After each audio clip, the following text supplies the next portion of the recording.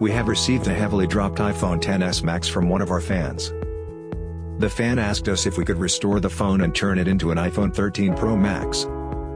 It can be seen that the phone is severely damaged.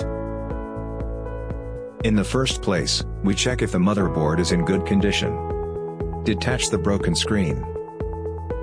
Then connect the motherboard with a new screen. The phone turns on but the touch screen is unresponsive. Remove the motherboard and we can see that the signal board is deformed.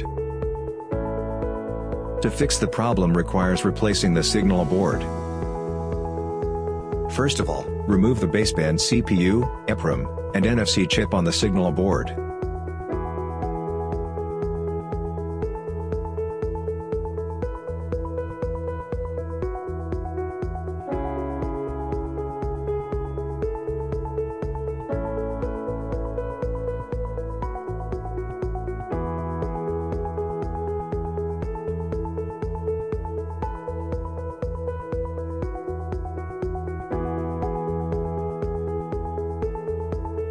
After reballing these three chips, solder them to a good signal board. Since the signal board is changed, we need to remove the NAND to unbind the Wi-Fi. Attach the NAND to the programmer for Wi-Fi unbinding. After unbinding, we solder the NAND back on. Apply some solder paste to the bonding pads of the new signal board. Next, we use a heating platform to recombine the signal board with the logic board. Connect the screen to test. The phone turns on and the touch screen is working fine. The motherboard is restored. The dot projector of the front camera module is also damaged. Then we need to move the flex cables of the infrared camera and dot projector to a new front camera module. Grind to remove the infrared camera. Install the infrared camera to a new front camera module and secure it. Remove the broken dot projector flex cable. Then remove the dot projector module and read its data.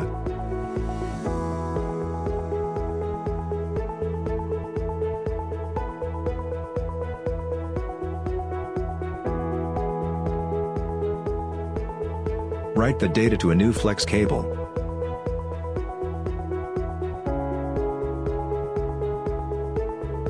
Before soldering the dot projector module, we need to remove the MOSFET and short pin 2 and 3. Next, we solder the dot projector module to a new flex cable. Put the new dot projector flex cable back to the front camera module. Align the flex cable and fix it with adhesive. After we have repaired the front camera module, the next step is to restore the true tone of the screen. Remove the earpiece flex cable from the broken screen and install it on a new screen. Read the screen data from the damaged screen and write the data to the new screen.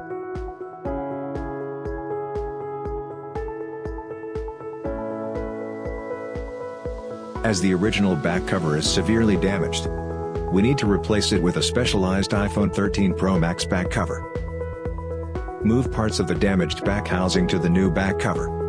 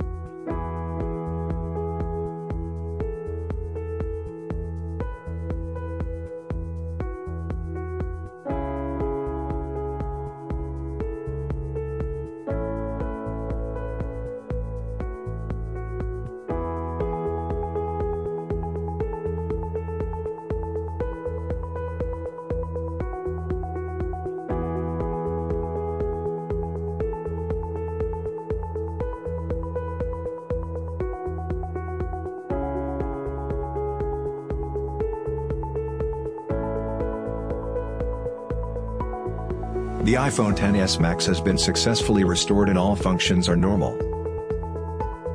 Please feel free to leave a comment on repair topics that you are interested in. You can buy the tools used in this video from our online shop. Thank you for watching.